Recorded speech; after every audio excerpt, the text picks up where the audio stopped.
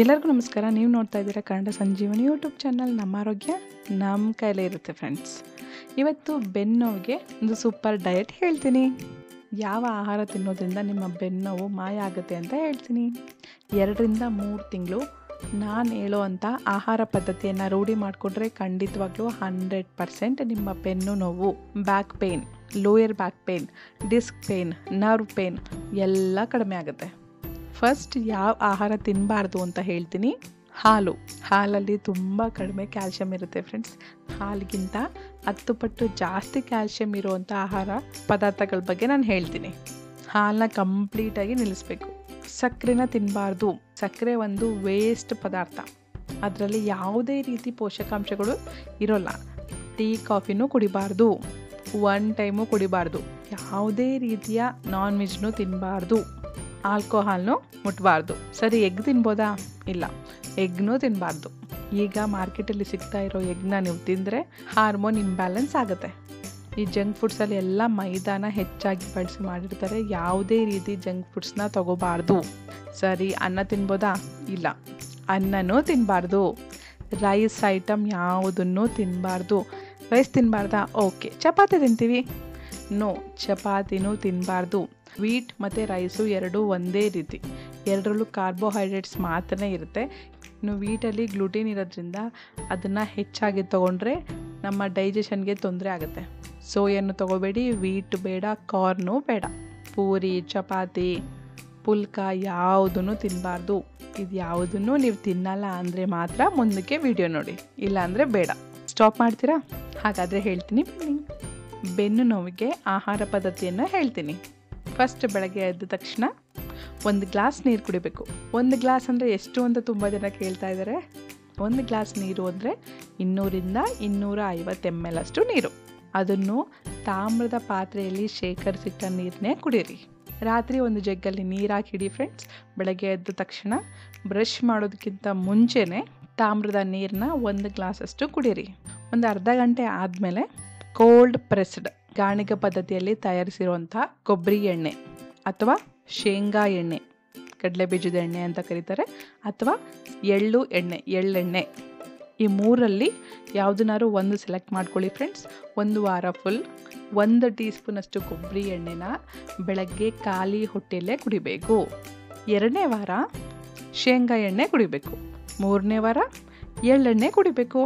ಇನ್ನು ನಾಲ್ಕನೇ ವಾರ ರಿಪೀಟ್ ಮಾಡಿ. ಮತ್ತೆ ಕೊಬ್ಬರಿ ಎಣ್ಣೆ ಶೇಂಗಾ ಎಣ್ಣೆ, ಎಳ್ಳೆಣ್ಣೆ. ಹೀಗೆ ಎರಡರಿಂದ ಮೂರು ತಿಂಗಳು ಕುಡಿಬೇಕು. ಒಂದು ಟೀ ಸ್ಪೂನಷ್ಟು ಕುಡಿದ್ರೆ ಏನೂ ಆಗಲ್ಲ ಫ್ರೆಂಡ್ಸ್. ಕುಡಿಯೋಕ್ಕಾಗಲ್ಲ ಒಂಥರ ಇರುತ್ತೆ, ಹಾಗೆ ಹೀಗೆ ಅಂತ ಹೇಳಿಬಿಡಿ. ಕಣ್ಣು ಮುಚ್ಕೊಂಡು ಕುಡೀರಿ, ಓಕೆನಾ? ಇನ್ನು ಟಿಫನ್ಗೆ ಏನು ಮಾಡಬೇಕು?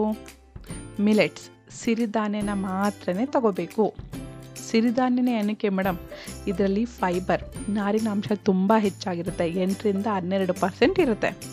ಇದು ನಮ್ಮ ರಕ್ತಕ್ಕೆ ಗ್ಲೂಕೋಸ್ನ ತುಂಬ ನಿಧಾನವಾಗಿ ಕಳಿಸೋದ್ರಿಂದ ಬ್ಲಡ್ ಅಂದರೆ ರಕ್ತದಲ್ಲಿ ಶುಗರ್ ಲೆವೆಲ್ ಜಾಸ್ತಿ ಆಗಲ್ಲ. ಅದರಿಂದನೇ ಡಯಾಬಿಟಿಸ್ ಪೇಷಂಟ್ಸ್ಗೆ ಶುಗರ್ ಪೇಷಂಟ್ಸ್ಗೆ ಸಿರಿಧಾನ್ಯ ತುಂಬ ಒಳ್ಳೆಯದು ಸಿರಿಧಾನ್ಯದ ಅನ್ನ ತಿನ್ನೋಕ್ಕಾಗಲ್ಲ ಮೇಡಮ್ ಅಂದರೆ ಇದರಲ್ಲಿ ತಿಂಡಿ ಮಾಡ್ಕೊಂಡು ತಿನ್ನಿ ಫ್ರೆಂಡ್ಸ್ ನೀವು ಅಕ್ಕಿಲಿ ಯಾವ ಥರದ ತಿಂಡಿಗಳು ಮಾಡ್ಬೋದೋ ಎಲ್ಲ ತಿಂಡಿನೂ ಸಿರಿಧಾನ್ಯದಿಂದ ಮಾಡ್ಬೋದು.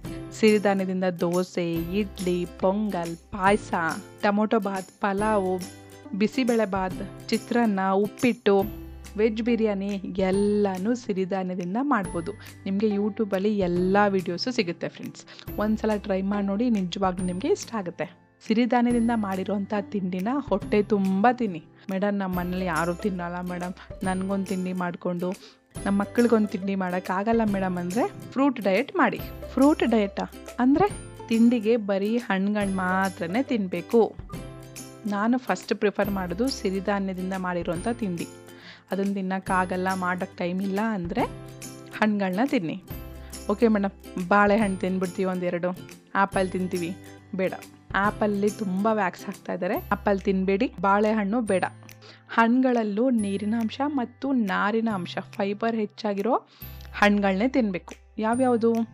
ಸೀಬೆಕಾಯಿ ತಿನ್ನಿ ಆರೆಂಜ್, ಮೂಸಂಬಿ, ಮರ್ಸೇಬು, ಪಪ್ಪಾಯ, ಕರ್ಬೂಜ, ಸಪೋಟ, ಸೀತಾಫಲ, ದಾಳಿಂಬೆ.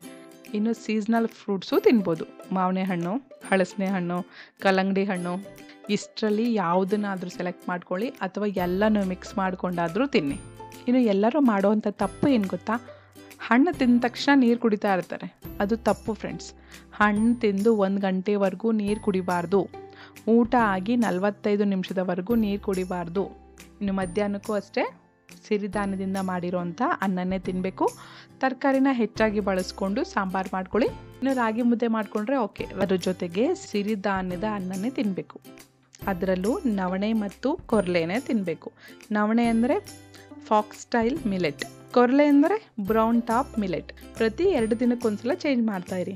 ಅಂದರೆ ಇವತ್ತು ಮತ್ತು ನಾಳೆ ನವಣೆ ತಿನ್ನಿ. ನಾಡಿದ್ದು, ಆಚೆ ನಾಡಿದ್ದು ಕೊರ್ಲೆ ತಿನ್ನಿ. ಬೆಳಗ್ಗೆ ಹಾರಕ ಅಥವಾ ಊದಲು ಸಾಮೆಯಿಂದ ಮಾಡಿರುವಂಥ ದೋಸೆನೋ, ಇಡ್ಲಿನೋ, ಪೊಂಗಲ್ಲೋ, ಪಲಾವೋ ಏನಾದರೂ ತಿನ್ನಿ ಫ್ರೆಂಡ್ಸ್ ಒಟ್ಟಿನಲ್ಲಿ ಸಿರಿಧಾನ್ಯ ಮಾತ್ರನೇ ತಿನ್ನಬೇಕು ನೆನ್ಪಿಟ್ಕೊಳ್ಳಿ. ನೆಕ್ಸ್ಟ್ ಅರ್ಧ ಗಂಟೆ ಆದಮೇಲೆ ಮಜ್ಜಿಗೆ ಕುಡಿಬೇಕು. ಒಂದು ಗ್ಲಾಸ್ ಅಂದರೆ ಇನ್ನೂರ ಐವತ್ತು ಎಂ ಎಲ್ ಅಷ್ಟು ಮಜ್ಜಿಗೆ. ಅದಕ್ಕೆ ಕೊತ್ತಂಬರಿ ಸೊಪ್ಪು. ಕೊತ್ತಂಬರಿ ಸೊಪ್ಪನ್ನ ಸಣ್ಣ ಕಟ್ ಮಾಡ್ಕೊಂಡು ಹಾಕೊಳ್ಳಿ. ಕರ್ಬೇವನ್ನು ಹಾಕಿ ಸೀ ಸಾಲ್ಟ್ ಸಮುದ್ರದ ಉಪ್ಪು ಅಥವಾ ಸೈಂಧವ ಲವಣ ಸ್ವಲ್ಪ ಹಾಕ್ಕೊಂಡು ಚೆನ್ನಾಗಿ ಮಿಕ್ಸ್ ಮಾಡಿಕೊಂಡು ಕುಡೀರಿ. ಉಪ್ಪು ಇಲ್ಲಿ ಆಪ್ಷನಲ್ ನಿಮಗೆ ಬೇಕು ಅಂದರೆ ಹಾಕೋಬೋದು, ಇಲ್ಲಾಂದರೆ ಬೇಡ. ಇನ್ನು ಸಂಜೆ ಸ್ನ್ಯಾಕ್ ಟೈಮ್ಗೆ ಏನು ಮಾಡಬೇಕು? ಒಂದು ಎಳ್ಳುಂಡೆ ತಿನ್ನಿ ಫ್ರೆಂಡ್ಸ್ ಚಿಕ್ಕ ಗೋಲಿ ಸೈಜಷ್ಟು ಎಳ್ಳುಂಡೆ ತಿನ್ನೋದಾದರೆ ಪ್ರತಿದಿನ ಸಂಜೆ ತಿನ್ನಿ. ಇಲ್ಲ ಮೇಡಮ್ ನಿಂಬೆಹಣ್ಣು ಸೈಜು ತಿಂತೀವಿ ಅಂದರೆ ವಾರಕ್ಕೆ ಎರಡು ಸಲ ತಿನ್ನಿ ಫ್ರೆಂಡ್ಸ್ ಸಾಕು.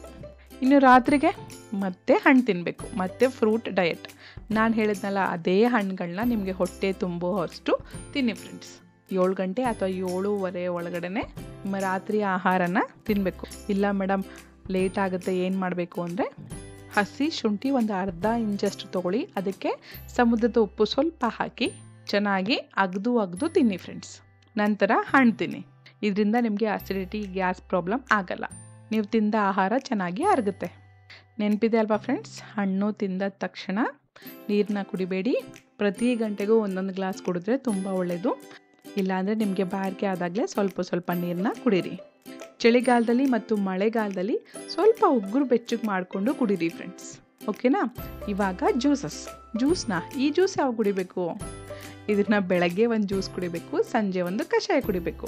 ಬೆಳಗ್ಗೆ ತಿಂಡಿ ಒಂಬತ್ತು ಗಂಟೆ ಒಳಗೆ ಮಾಡಬೇಕು ಫ್ರೆಂಡ್ಸ್ ಮಧ್ಯಾಹ್ನ ಊಟ ಎರಡು ಗಂಟೆ ಒಳಗೆ ಮಾಡಬೇಕು. ಈ ಜ್ಯೂಸಸ್ನ ಹನ್ನೊಂದು ಗಂಟೆ ಟೈಮಲ್ಲಿ ತಗೊಳ್ಳಿ. ಮೊದಲನೇ ಜ್ಯೂಸ್ ಇದಕ್ಕೆ ಬೇಕಾಗಿರೋದು ಪುದೀನ. ಒಂದು ಹಿಡಿಯಷ್ಟು ಪುದೀನ ತಗೊಳ್ಳಿ, ಒಂದು ಹಿಡಿಯಷ್ಟು ಕೊತ್ತಂಬರಿ ಕೊರಿಯಾಂಡರ್ ಲೀವ್ಸ್ ಕೊತ್ತಂಬರಿ ತಗೊಳ್ಳಿ, ಅರ್ಧ ಹಿಡಿಯಷ್ಟು ತುಳಸಿ. ಒಂದು ಹತ್ತರಿಂದ ಹನ್ನೆರಡು ಎಲೆ ಸಾಕಾಗುತ್ತೆ. ಮೂರನ್ನು ಚೆನ್ನಾಗಿ ತೊಳೆದು ಸಣ್ಣ ಕಟ್ ಮಾಡಿಕೊಂಡು ಒಂದು ಇನ್ನೂರು ಎಂ ಎಲ್ ಅಷ್ಟು ನೀರು ಹಾಕಿ ಚೆನ್ನಾಗಿ ಗ್ರೈಂಡ್ ಮಾಡಿ. ಗ್ರೈಂಡ್ ಮಾಡಾದಮೇಲೆ ಅದನ್ನು ಸೋಸ್ಕೊಂಡು ಹಾಗೇ ಕುಡಿಬೋದು. ಹಾಗೆ ಕುಡಿಯೋಕ್ಕಾಗಲ್ಲ ಅನ್ನೋರು ಮಾತ್ರನೇ ಅರ್ಧ ಹೋಳು ನಿಂಬೆಹಣ್ಣಿನ ರಸ, ಒಂದು ಎರಡು ಸ್ಪೂನಷ್ಟು ಜೇನುತುಪ್ಪ. ಚೆನ್ನಾಗಿ ಮಿಕ್ಸ್ ಮಾಡಿಕೊಂಡು ಕುಡೀರಿ. ಡಯಾಬಿಟಿಸ್ ಅವರಾದರೆ ಜೇನುತುಪ್ಪ ಬೇಡ ಓಕೆನಾ ಇನ್ನು ಎರಡನೇ ಜ್ಯೂಸ್ ಎಲ್ಲ ಜ್ಯೂಸಸ್ಸು ಸೇಮ್ ಪ್ರೋಸೆಸ್ ಇರುತ್ತೆ ಫ್ರೆಂಡ್ಸ್ ನುಗ್ಗೆ ಸೊಪ್ಪು, ಕರಿಬೇವು. ನುಗ್ಗೆ ಸೊಪ್ಪು ಒಂದು ಹಿಡಿಯಷ್ಟು ತೊಗೋಬೇಕು, ಕರಿಬೇವು ಅರ್ಧ ಹಿಡಿಯಷ್ಟು ತೊಗೋಬೇಕು. ಮಿಕ್ಸಿ ಜಾರ್ಗೆ ಹಾಕಿ, ಇನ್ನೂರು ಎಂ ಎಲ್ ಅಷ್ಟು ನೀರು ಹಾಕಿ ಗ್ರೈಂಡ್ ಮಾಡಿ ನೆಕ್ಸ್ಟ್ ಫಿಲ್ಟರ್ ಮಾಡ್ಕೊಳ್ಳಿ. ಅದಕ್ಕೆ ಅರ್ಧ ಹೋಳು ನಿಂಬೆಹಣ್ಣಿನ ರಸ, ಎರಡು ಸ್ಪೂನಷ್ಟು ಜೇನುತುಪ್ಪ ಚೆನ್ನಾಗಿ ಮಿಕ್ಸ್ ಮಾಡಿಕೊಂಡು ಕುಡೀರಿ. ಮೂರನೇ ಜ್ಯೂಸ್, ಪಾಲಾಕು ಕರಿಬೇವು. ಪಾಲಾಕು ಒಂದು ಹಿಡಿ, ಕರಿಬೇವು ಅರ್ಧ ಹಿಡಿ. ಸೇಮ್ ಪ್ರೋಸೆಸ್ ನಾಲ್ಕನೇ ಜ್ಯೂಸ್, ಕ್ಯಾರೆಟ್. ಮೂರಿಂದ ನಾಲ್ಕು ದಪ್ಪ ಇರೋ ಕ್ಯಾರೆಟ್ ತೊಗೊಳ್ಳಿ. ಚಿಕ್ಕದು ಬೀಟ್ರೂಟ್ ತೊಗೊಳ್ಳಿ. ಸಣ್ಣಕ್ಕೆ ಕಟ್ ಮಾಡಿಕೊಂಡು ಸ್ವಲ್ಪ ನೀರು ಹಾಕಿ ಗ್ರೈಂಡ್ ಮಾಡಿಕೊಂಡು ಫಿಲ್ಟರ್ ಮಾಡ್ಕೊಳ್ಳಿ. ಹಾಗೆ ಕುಡೀರಿ ಫ್ರೆಂಡ್ಸ್ ಹಾಗೆ ಕುಡಿಯೋಕ್ಕಾಗಲ್ಲ ಅನ್ನೋರು ಮಾತ್ರನೇ ನಿಂಬೆಹಣ್ಣು. ಅರ್ಧ ಹೋಳು ನಿಂಬೆಹಣ್ಣು ಹಾಕೋಬೇಕು. ಒಂದು ಎರಡು ಟೀ ಸ್ಪೂನಷ್ಟು ಜೇನುತುಪ್ಪ. ಇನ್ನು ಐದನೇ ಜ್ಯೂಸ್ ಮಿಕ್ಸ್ಡ್ ವೆಜಿಟೇಬಲ್ ಜ್ಯೂಸ್ ತರಕಾರಿ ಜ್ಯೂಸ್ ಮೇನಾಗಿ ಬೂದು ಕುಂಬಳಕಾಯಿ ಆ್ಯಶ್ ಗಾರ್ಡ್ ಹೀರೆಕಾಯಿ, ಸೋರೆಕಾಯಿ, ಟೊಮೊಟೊ, ಸೌತೆಕಾಯಿ. ಹೀಗೆ ಯಾವುದು ಜ್ಯೂಸ್ ಮಾಡೋಕ್ಕಾಗುತ್ತೋ ಅವೆಲ್ಲನೂ ಒಂದೊಂದು ಪೀಸ್ ಹಾಕ್ಬಿಟ್ಟು ಸ್ವಲ್ಪ ನೀರು ಹಾಕಿ ಗ್ರೈಂಡ್ ಮಾಡ್ಕೊಳ್ಳಿ ಫಿಲ್ಟರ್ ಮಾಡಿಕೊಂಡು ಕುಡೀರಿ. ಈ ಐದು ಜ್ಯೂಸ್ನ ದಿನ ಒಂದೊಂದು ಕುಡಿಬೇಕು. ಆರನೇ ದಿನ ಮತ್ತೆ ರಿಪೀಟ್ ಮಾಡಿ. ಇದನ್ನು ಬೆಳಗ್ಗೆ, ತಿಂಡಿಗೆ, ಊಟಕ್ಕೆ ಮಧ್ಯದಲ್ಲಿ ಕುಡಿಬೇಕು. ನೆಕ್ಸ್ಟು ಕಷಾಯ ಈವ್ನಿಂಗ್ ಟೈಮ್ ಕಾಫಿ ಟೀ ಬದಲು ಈ ಕಷಾಯನ ಕುಡಿಬೇಕು. ಕಷಾಯ ಒಂದು ಸೀಬೆ ಮರದ ಎಲೆ ಕಷಾಯ.